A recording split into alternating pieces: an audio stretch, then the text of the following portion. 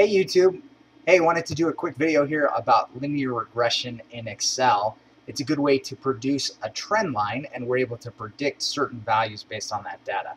So as you see here, I've created a little chart of a fake company starting in 2006 and sales in millions of dollars. Essentially, we're going to use this data here, years 2006 through 2010, to predict the sales in 2013. So to do that, we'll start off uh, by plotting this data. We'll go to Insert, we'll hit Scatter.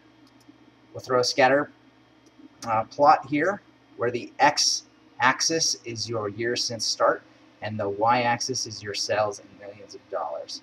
So we're going to right-click one of these data points to add a trend line. We want it to be linear. I want to show the equation on the chart and we're actually going to go forward three periods so we can it'll do the prediction for us.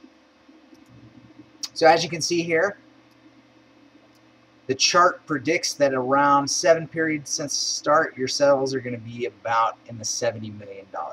But they've given us an equation, so we're going to put that equation here. So, so this is our equation. You can see I've typed it in there for you.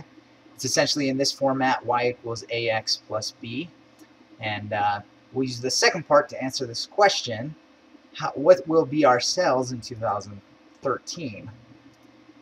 As you can see, the equation kicks out to about what the chart says, $70.4 million.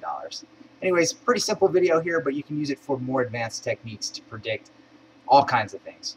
Anyways, great tool. Have a great day. Bye.